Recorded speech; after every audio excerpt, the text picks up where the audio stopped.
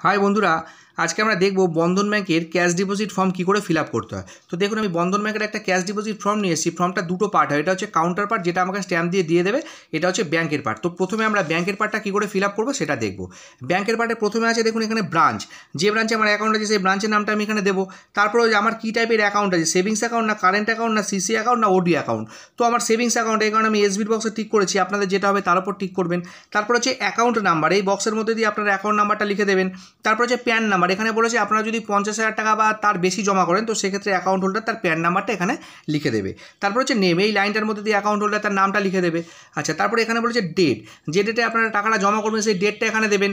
তারপর হচ্ছে telephone number বা মোবাইল নাম্বার এখানে আপনারা একটা ভ্যালিড মোবাইল নাম্বার দিয়ে দেবেন। এরপর এখানে যে বক্সগুলো আছে, এর মধ্যে আপনারা কত টাকা জমা করবেন এবং কী কী নোট দিচ্ছেন সেটা ভেঙে ভেঙে লিখতে হবে। তো ধরুন আজকে আমি পাঁচ হাজার টাকা জমা করছি, এই কারণে আমি পাঁচশো টাকার আটটা নোট দিয়েছি এবং একশো টাকার দশটা নোট দিয়েছি, চার হাজার এবং এক হাজার। তো টোটাল হয়ে গেল আমার এখানে পাঁচ হাজার টাকা। তো আমি এখানে একটা দাগ দিয়ে টোটালে পাঁচ হাজার টাকা নাম্বারে বা ফিগারে লিখে দিলাম। আপনারা যত টাকা জমা করবেন, এখানে নাম্বারে বা ফিগারে লিখবেন এবং কী কী নোট দিচ্ছেন, এইভাবে ভেঙে ভেঙে লিখবেন। আর এইখানে রুপিজ ইন ওয়ার্ড এখানে সেটা আপনাকে ওয়ার্ডে লিখতে হবে। তো যেহেতু আমি পাঁচ হাজার টাকা জমা করছি, এই কারণে আমি ফাইভ থাউজেন্ড অনলি লিখেছি, আপনারা যত টাকা জমা করবেন, এখানে সেটা ওয়ার্ডে লিখে দেবেন। তারপর এখানে দেখুন লেখা আছে ডিপোজিটার সিগনেচার মানে যে টাকা জমা করতে যাবে, তাকে এখানে একটা সাইন করতে হবে। তো যদি অ্যাকাউন্ট হোল্ডার জমা করতে যায়, তাহলে সে একটা সাইন করবে, আর যদি অন্য কেউ জমা করে, সে এখানে একটা সাইন করে দেবে। কারণ একটা অ্যাকাউন্টে যে কোনো মানুষ টাকা জমা করতে পারে। তো এটা আমার হয়ে গেলো ব্যাঙ্কের পার্ট এবার আমরা কাউন্টার পার্টটা দেখব। কাউন্টার পার্টের প্রথমে আছে হচ্ছে ব্রাঞ্চ যে ব্রাঞ্চে আমার অ্যাকাউন্ট আছে, সেই ব্রাঞ্চের নামটা আমি এখানে দেবো। তারপর হচ্ছে ডেট যে ডেটে আমি টাকা জমা করব, সেই ডেটটা আমি এখানে দেবো। তারপর আমার কী টাইপের অ্যাকাউন্ট আছে, তার উপরে টিক করব। তারপরে হচ্ছে অ্যাকাউন্ট নাম্বার এই বক্সের মধ্যে দিয়ে আমি আমার অ্যাকাউন্ট নাম্বারটা লিখে দেবো। তারপরে হচ্ছে নেম এখানে অ্যাকাউন্ট হোল্ডার তার নামটা লিখে দেবে।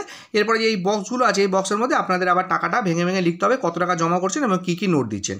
তো আমি পাঁচ হাজার টাকা জমা করছি, সেই হিসাবে আমি ভেঙে ভেঙে ক্যাশের পার্টিকুলার্সটা লিখেছি, লিখে একটা দাগ দিয়ে টোটালে আমি পাঁচ হাজার টাকা নাম্বারে বা ফিগারে লিখে দিয়েছি। আপনারা যত টাকা জমা করবেন, এখানে ভেঙে ভেঙে লিখবেন কী কী নোট দিচ্ছেন, আর এখানে টোটালে সেটা নাম্বারে বা ফিগারে লিখে দেবেন। তারপর এখানে হচ্ছে রুপিজ ইন ওয়ার্ড এখানে সেটা ওয়ার্ডে লিখে দেবেন। তো আমি ফাইভ থাউজেন্ড অনলি লিখেছি। আপনারা যত টাকা জমা করবেন, সেটা এইভাবে লিখে দেবেন।